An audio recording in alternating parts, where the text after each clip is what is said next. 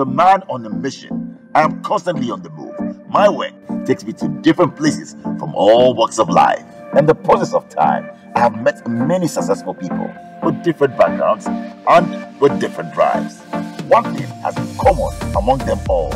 Like me, they don't compromise on quality. Which is why each day as I leave home to face the world, I drive straight to the one place I know I can refuel for the day because I am assured of quality fuel at an affordable price.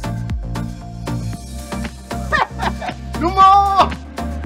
Over oh, there, Mama Shafik Salon. Mujang! Mujang the triple S. Na triple S no yɛ dɛn? Make them tell you.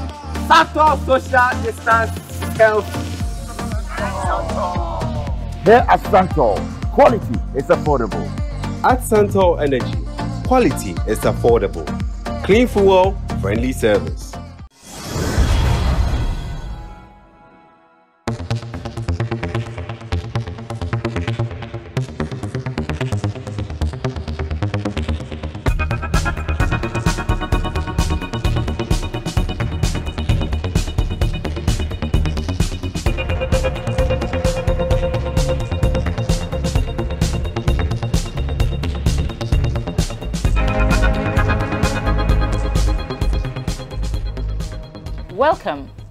I'm Lesley Arthur Asiedu. 10 years of oil production in Ghana. The Tullow story. What better person to tell the story than the MD of Tullow Oil, Wissam Al Monthiry. Hello, Wissam. Akwaba, Lesley. Okay, so we'd like to know about you first. Of course, Lesley. I've been fortunate enough to be in this role as MD for Tullow Ghana for almost 20 years now. Oil and gas professional my whole career, starting as an engineer and working around the world, primarily in offshore uh, oil and gas. Okay. Uh, and having spent a long career uh, with BP prior to ultimately joining Tullow last year. Okay, okay. So you, you haven't had any prior experience in Africa? I have actually. Um, I, n- I have not been fortunate enough to work in West Africa, but I did work quite extensively in North Africa prior Okay. to this, Okay. uh, where I played a leadership role in the business in North Africa. Uh, but this is my first uh, full-time experience in West Africa, and it's been an absolute pleasure to work in Ghana. Okay. Welcome again to Ghana. Thank you, Lesley. Okay, so it's been 10 years since we commercially started producing oil in Ghana. What has been the experience for Tullow? Well, it's had lots of challenges, but it's also been very rewarding. We've been uh, really privileged to play a role uh, as the operator of the 10 and Jubilee fields, initially coming in uh, to Ghana in 2006. Uh, Jubilee and 10 have been very challenging projects, and we've certainly had our setbacks along the way. Of course, yeah. But when you look at where we are today and you look back 10 years, we're very proud to have had a significant impact on the economy of Ghana in a positive manner, Okay. both in terms of uh, oil and gas revenues and contributions to the economy, but also in, uh, in terms of uh, our, our contribution to growing the supply chain and the sector and creating jobs Yeah. uh, and creating a future in this really bright industry as a pioneer of the industry in Yeah. Ghana. Okay, so if what do you say you've had the necessary support from various agencies, governments, or all through? Support has been essential over the last 10 years and it's been very present. It, I would be remiss not to mention the support we've had over the years from the Ministry of Energy, Okay. Ministries of Trade, Education, certainly the national oil companies and GNPC, and, and more recently with GNGC, and the list goes on and on. But the government of Ghana and our partners uh, in the Jubilee and 10 fields have been essential contributors to the success over the last 10 years. Okay, so support has been great, but has there been any challenges at all? Any journey in oil and gas is full of challenges. So, to mention a couple, certainly the drilling moratorium between 2015 and 2017 Okay. is a notable one that affected us. And then the turret failure on Jubilee, uh, also in the in the mid 2000 teens, was a significant impact to our operations. I'm very proud of how we've come together, or we did come together, Uh, and overcome those challenges, mm-hmm. both technically, commercially, and with the support of the government of Ghana. Okay, that's great. So, can you tell us about your operational structure? Regarding our operational structure, we of course have the two floating production storage vessels offshore, JAM and K&K, representing the 10 and Jubilee fields. Okay. They have teams that work on the FPSOs 24 7. Uh, supporting them, we have both technical and support logistics staff in Takoradi Okay. and, of course, here in Accra.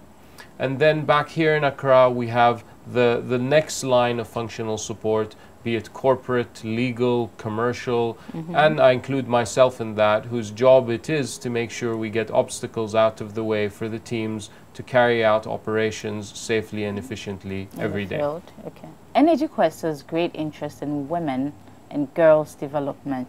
So, do you employ a lot of women, both in your technical fields and then in your offices altogether?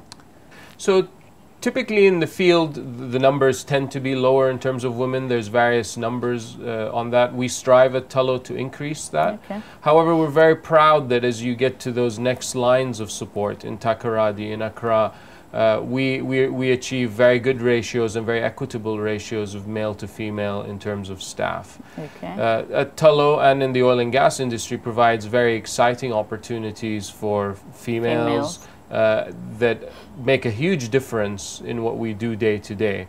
The reality is diversity and gender diversity makes a significant difference in how we perform as a company and Yeah. I've seen it and we've seen it and that'll continue at Tullow. That, that's really good. What of local content? Do you have a um, lot of locals employed in Tullow?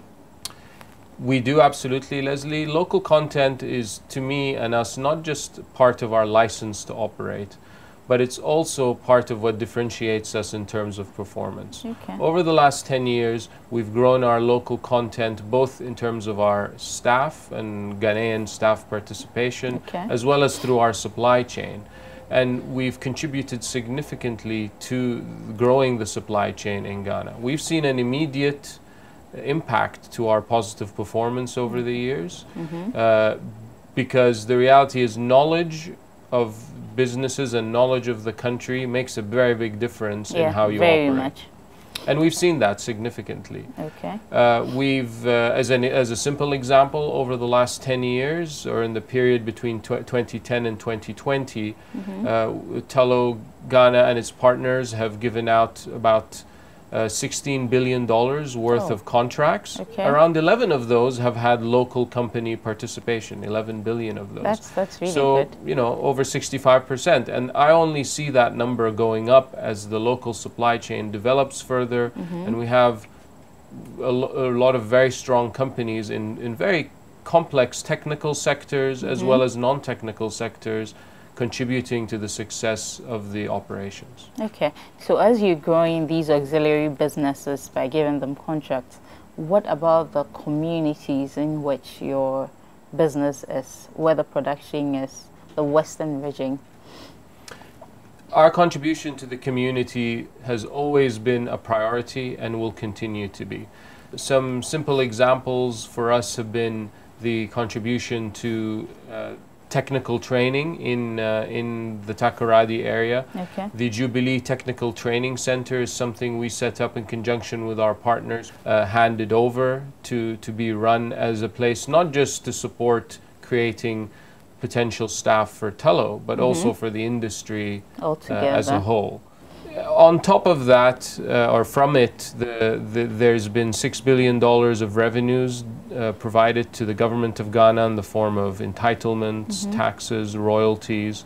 Uh, and and that that's a number. Both those numbers are numbers we're very proud of because not because of the dollar value they represent, but Yeah. because of the jobs they've created, Changing lives. The, the lives they've changed and the growth in the economy they've created in Ghana. We're, we're extremely proud of that and we, we, we know that that'll continue. Okay, okay. So specifically, which industries have benefited?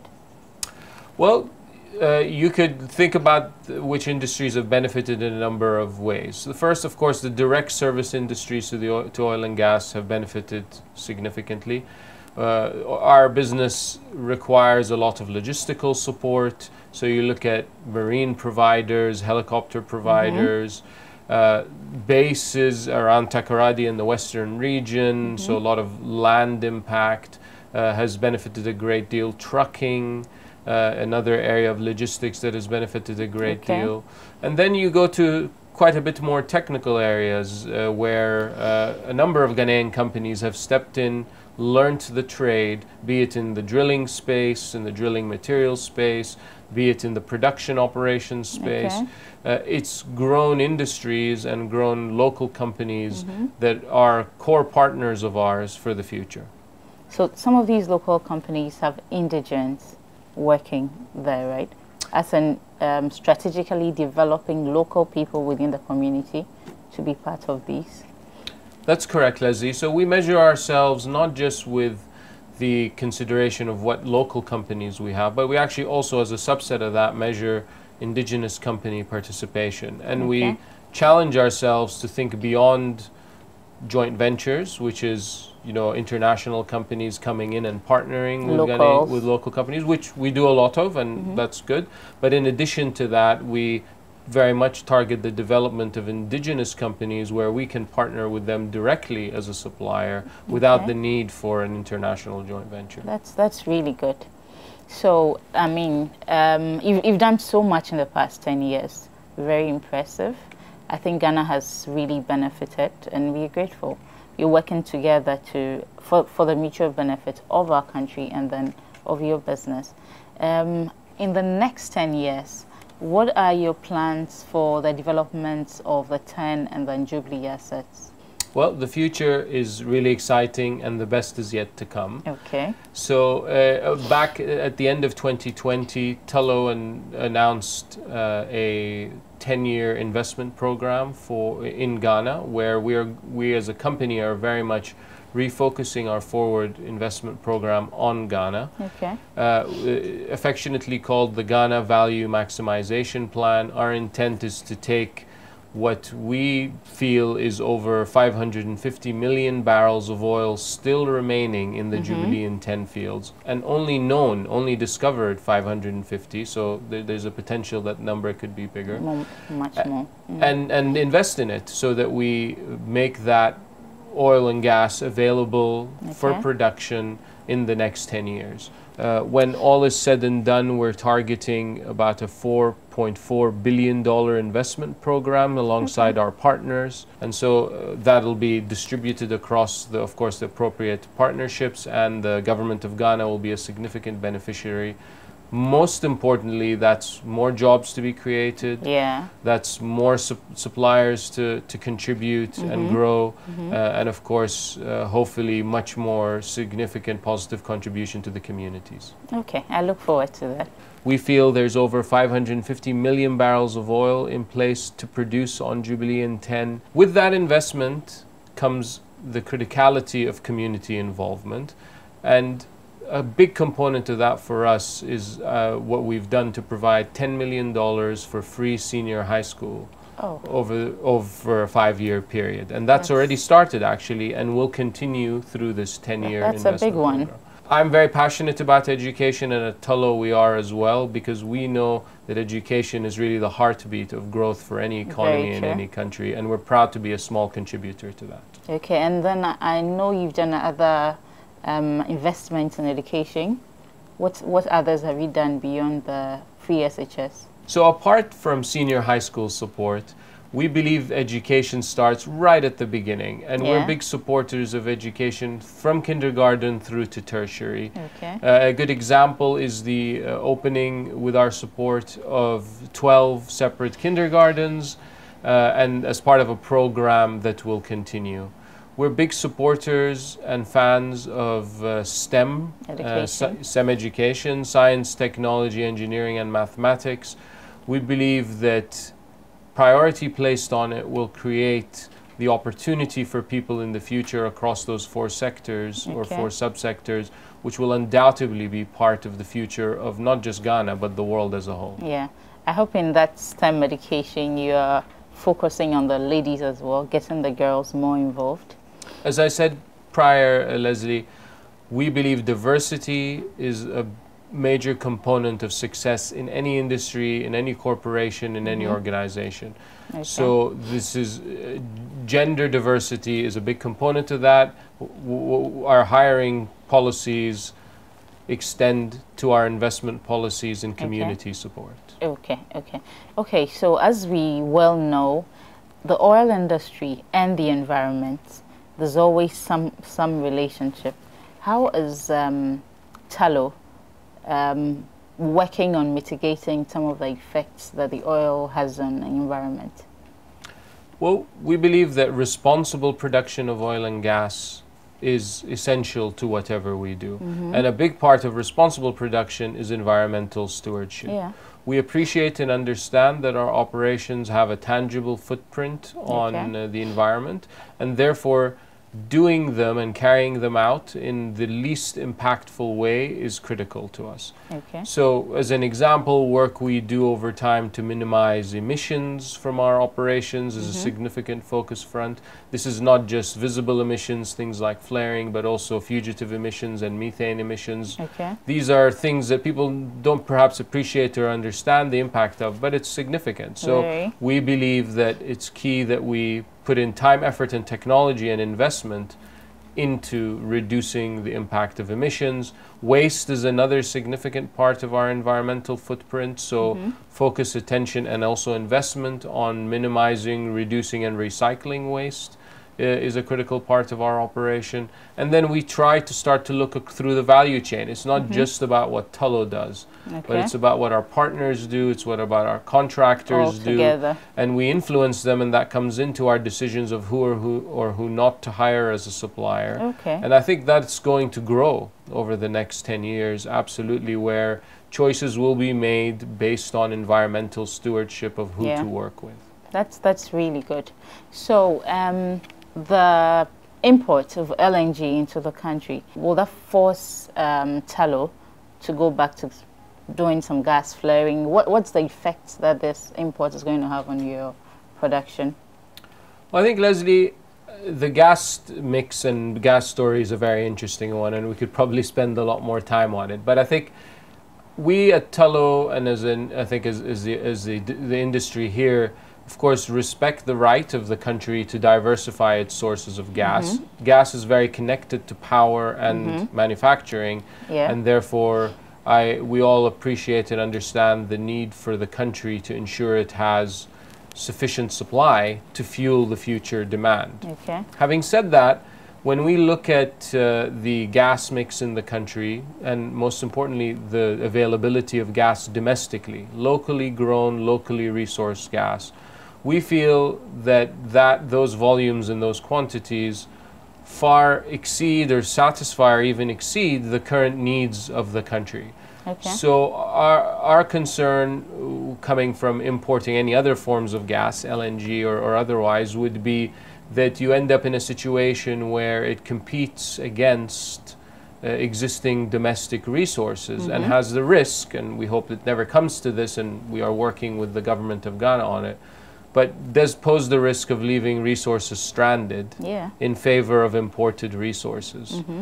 And further to that simple kind of thought is we believe that domestic gas and certainly Jubilee and 10 gas provides by far the lowest cost option for the government of yeah. Ghana. Yeah.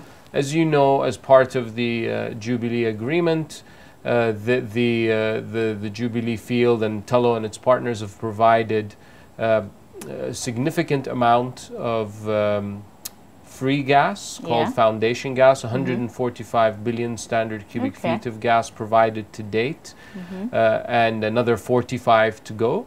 Uh, before that agreement runs out, that gas has come free of charge and is Free? I- I- that's always been the agreement, and Okay. and we, we of course must honor it.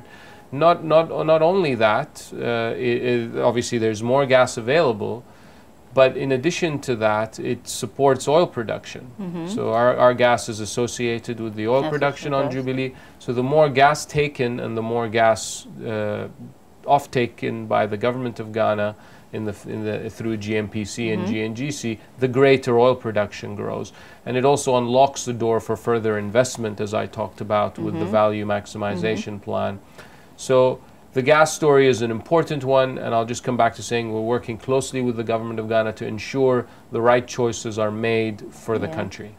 So how is it going to affect the future of domestic gas upstream? Well, I think at Tullow, we, we similarly believe that oil and gas is going to be with us for the foreseeable future and probably beyond that. And there's many reasons for that. But having said that, we believe strongly that for an oil and gas company to be competitive in the future, we have to have a plan around the energy transition. Yeah. A big component of that is our environmental stewardship. I and we firmly believe that the lowest carbon footprint oil and gas will be the one that is produced for the years to come around the world. And we want to represent that as Tullow. So I, I uh, the things we're doing around reducing emissions, our net zero commitment as a company Okay. by 2030, our plan and commitment to eliminate any kind of routine flaring by 2025, and everything I talked about with regard to uh, recycling programs, material waste reduction programs, Okay. all of them form a significant part of our energy transition. Okay, so the the CEO of Baker Hughes has indicated that there's no point where we would have a complete um, neglect of fossil fuels. However, they are prepared for the energy transition. So, what is Tullow also doing?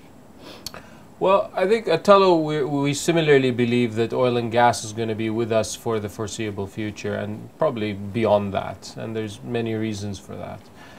But having said that, we believe strongly that for an oil and gas company to be competitive in the future, we have to have a plan around the energy transition. Yeah. A big component of that is our environmental stewardship. I and we firmly believe that the lowest carbon footprint oil and gas will be the one that is produced for the years to come around mm-hmm. the world. And we want to represent that as Tullow. So I, I uh, the things we're doing around reducing emissions, our net zero commitment as a company Okay. by 2030, our plan and commitment to eliminate any kind of routine flaring by 2025, and everything I talked about with regard to uh, recycling programs, material waste reduction programs, Okay. all of them form a significant part of our energy transition. Gas is actually another significant part of our uh, energy transition plan. okay. Gas is a lower carbon footprint uh, resource than oil. It powers the, the power sector and manufacturing sector significantly. Yeah. The grid in Ghana, for example, is set up to take more Very natural gas and dependent on it rather than primarily only being dependent on Mm, things like oil. oil or even coal. So we our energy transition plan has us contributing and increasing that contribution from gas both what we know is there today in Jubilee and 10 as associated gas and our belief and no known belief of the existence of further unassociated gas within Jubilee and 10. So that's a significant part of our energy transition plan. Okay. I would just want to finally mention that no energy transition plan is complete without the concept of offsets. And that sounds like a technical term, but in reality, what it is is contributions to the environment, the planting of trees, the establishment of uh, resources in the ground that Yeah. improve the environment as an additional component to offsetting carbon footprint and emissions. Emissions, yeah. And at Tullow, we will be announcing and talking more about what, what we're going to do in that space. Our Okay. commitment is to focus on the communities and countries that we work in in doing that, uh, and you'll hear more from on that from us. Okay, okay. So this tells me that Tullow will be here for a long time. I certainly hope so. I think Okay. Uh, when you marry the the long time that Tullow's the, the initial risk that Tullow and belief Tullow had in Ghana, with this with the success, sure, with some ups and downs, but with success overall. Uh, and the growth of the country, the demographics, the growth of the sector, the growth of the manufacturing sector, the growth of the power sector, uh, we believe we're in a very good position to be here for a very long time. And to, to add to that, sentiment is one thing, but action is most important. And hopefully, uh, with the announcement of the value maximization plan, the 10 year investment program, the start of the 10 year investment program now with the with the uh, procurement and start of another drilling campaign offshore in Ten and Jubilee uh, those are visible signs that we are intending to be here for the long term and see a lot of promise in the country of Ghana. Great. So you're going to be here for a long time. So so much is going to. Um, you, sh- you should have great interest in the future here. So if you have the opportunity to advise the government on the future of the industry, what are you going to tell them? Well, it's not my place to advise the government, Lesley, but as a as an international investor, w- uh, what what you could look at is in any in any country, and any investor would look for a, a few things uh, to to feel comfortable about the future. One is the commitment and s- of, of the revenues being secured and available. And Yeah. we talked about gas. Gas is very important because our oil comes with gas in it, with it, and if that gas doesn't have a home, then that oil can't be produced. yeah. It's as simple as that. And if that oil can't be produced, then we're unlikely to want to, or anyone would be unlikely to want to invest further in it. So there's something in the space of uh, transparency and uh, commitment around gas that is a significant area. And at Tullow, we're working very closely with the government to not just to help define what the right transparency is and also what the right contractual commitment should be to Okay. further greater investment. Another area is, is fiscal stability. And, um, and any investor will tell you this. Uh, no matter what terms and conditions you have in your investment agreements, you'd like to see those upheld going forward. Not because they're necessarily good terms, but they're because they're terms familiar to you. And I think you know that's another area. The, the idea of fiscal stability and uh, regulatory stability Okay. are key areas of, of importance Of to course, us. yeah. And then just to hit back on the theme of growth uh, and to get a bit more specific, as an example, Jubilee and 10 have a lot of very interesting and exciting fields in and around them Okay. that could add oil production and gas production. Okay. Uh, our access to those fields uh, and ability to access them with, uh, with favorable terms, Mm-hmm. uh, consistent with what we have today, is will- will another big really area that any investor, because the reality is the more familiar those terms are, uh, the more likely we're, uh, we are to quickly invest, and any investor would say the same. Well, thank you. Yes, so Wissam, we are especially interested in your drive on community development and also your efforts in STEM development with the girls. And we also have great interest in you employing more and more women into Tullow and into the industry. So we'll revisit that. Thank you very much. Lesley, as I said, it's a priority for us, and you're always welcome. So, this is what we do on Energy Quest. We demystify the energy sector and add value. Till we meet again. Ciao.